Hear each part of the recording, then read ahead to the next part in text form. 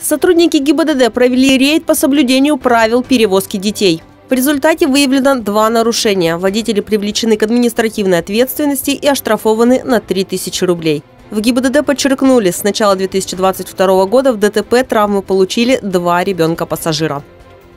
Первоуральске на отлов бездомных собак потратят 3 миллиона рублей. Сегодня городское хозяйство и общество защиты животных заключили договор на отлов и содержание бездомных собак. Сумма контракта составила более 3 миллионов рублей. Деньги выделят из областного бюджета.